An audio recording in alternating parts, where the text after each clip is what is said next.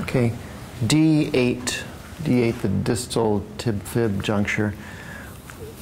We've freed up the interosseous now, and now we want to get in between the bones here. Now, the picture that's in your books makes it look like I'm right in the middle of the joint there. On most people, it's actually a little bit more lateral, or a lot more lateral, actually. Like if you feel in yourself, you can follow this juncture down. And right here, especially, you have to get lateral to get around this protuberance on the tibia to get into that joint. So I'm going to get in there and have her dorsiflex, again, to open up that window shade motion of the tib fib.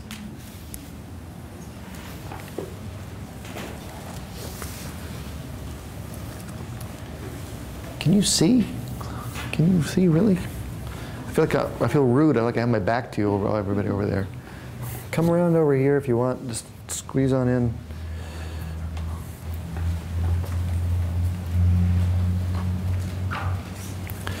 Do you need to see that again, where I was in the bone? Right here. Right at the juncture. And I find it by starting high and moving down low.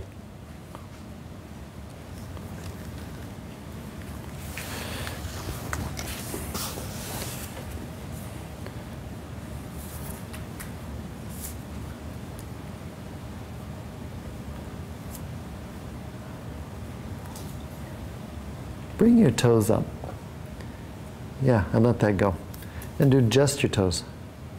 Great. And now do your foot with the toes. But leave this space. Is that possible? Leave the space. Yeah, that's that's different. She breathes deeper. She goes a little easier on her movement. Yep. And take care of your thumbs. If you need to use both, please do.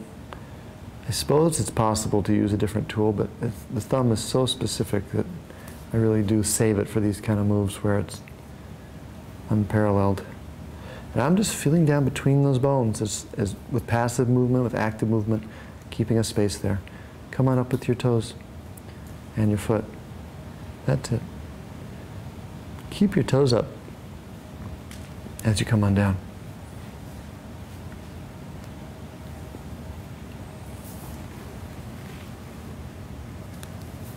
So just easing those bones apart, even with the movement. We're getting some little crackles and pops in there too as, as they let go. But we can feel, you can feel in yourself and I feel in her how the tendency is to lock those bones together when you move.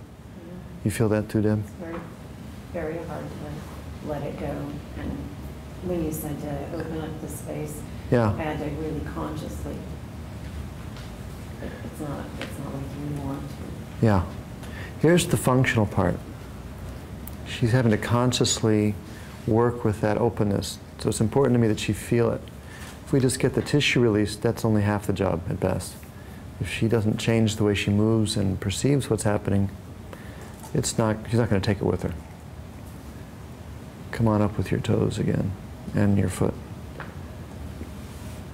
All right. Questions?